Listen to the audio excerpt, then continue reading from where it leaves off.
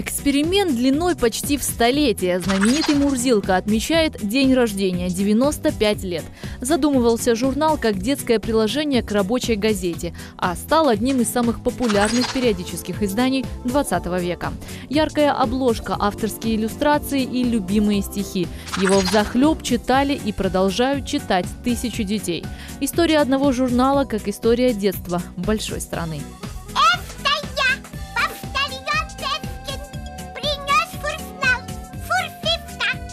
Первый номер вышел в далеком 1924-м. Главные герои – белый щенок и мальчик Петя. Дружат с белым медведем, летают на воздушном шаре. Желтый, пушистый, в красном берете, с фотоаппаратом через плечо. Таким Мурзилка появился 13 лет спустя. Веселый, находчивый и любознательный. Юный спецкор журнала. Таким его знают и сейчас.